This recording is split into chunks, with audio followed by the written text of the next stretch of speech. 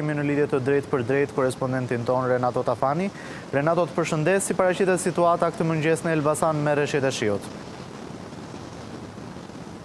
Përshëndetje nga Elbasani dhe sikurse u tha dhe nga studioja qendrore në rastet kur reshjet në qarkun Elbasan Ekspozit për të shkaktuar probleme të ndryshme, kryesisht është përroi i Zaranikës ai i cili mbahet në mbikëqyrje dhe nga autoritetet vendëse, por edhe dhe nga autoritetet lokale. Më së paku pasi edhe rrugët nacionale Elbasan Librazhd dhe Librazhd Prrenjas janë ato të cilat përbalen me rrëshqitje të dherave, por ka edhe zona të tjera të cilat rrezikojnë përmbytjen, siç janë zonat e Shushicës për shkak edhe të ulësisë, por edhe prezencës së lumit Shkumbin, ka herë pas here dalje nga shtrati i tij, Kur reshjet janë me intensitet, por fatmirësisht deri në këto momente situata nuk është e tillë, pra kemi një situatë të qetë, pasi reshjet kanë qenë prezente vetëm gjatë orëve të natës dhe me një intensitet të ulët pa arritur të shkaktojnë problematika. Të paktën gjatë njëzet e katër orëve të fundit situata ka qenë e tillë. E theksoj të paktën për njëzet e katër orët e fundit, pasi kujtojmë këtu që natën e së premtes ka patur probleme serioze për sa i përket furnizimit me energji elektrike, pasi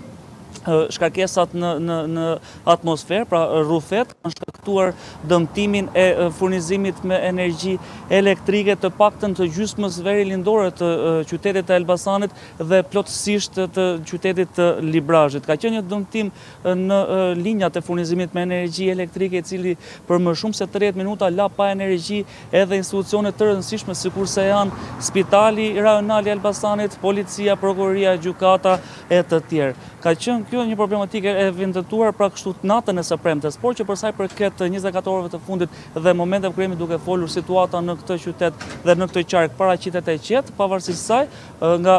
Agjencia e Shërbimeve Publike kemi marrë njoftimin se janë marrë masat për të qenë në gatishmëri në lidhje me ndonjë reagim të mundshëm gjithmonë në rast se do të kemi problematika që mund të shkaktohen në rast se do të kemi shtim të intensitetit të reshjeve në Është parashikuar se do të jetë edhe dita e sotme. Megjithatë, deri në këto momente, nuk rezulton të kemi problematika në qarkun Elbasan dhe situata është krejtësisht e qetë.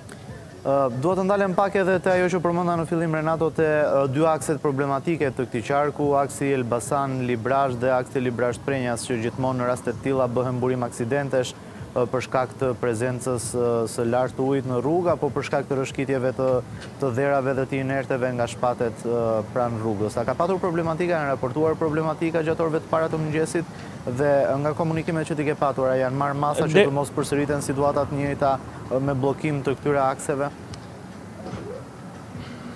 Këto dy akse që përmendëm janë realisht të shqetësuese për qarkun e Elbasanit pasi përballen herë pas here me problematikat kryesisht të rrëshqitjes së dherave dhe të gurëve në rrugë të cilat në rastin më të mirë bëjnë të vështirësojnë qarkullimin në rrugë por në rastin më të keq janë burime dhe për shkaktimin e aksidenteve megjithatë deri në këto momente nuk kemi njoftime për shkaktimin e problematikave të tilla dhe për sa i përket vëmendjes e cila U kushtohet këtyre segmenteve, kujtojmë që janë dy segmente këto të cilat kanë nevojë për një investim të mirëfilltë dhe të i cili realisht duhet të kapë dhe vlera të mëdha monetare dhe që deri në këto momente nuk është bërë një ndërhyrje e tillë, ka patur vetëm restaurime të pjesshme të segmenteve kryesisht në ato pika të cilat kanë patur dhe disponibilitet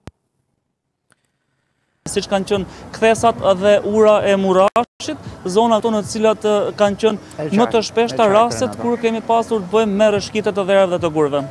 Mire, Nardo të falenderoj për këtë raportim të parë nga Elbasan.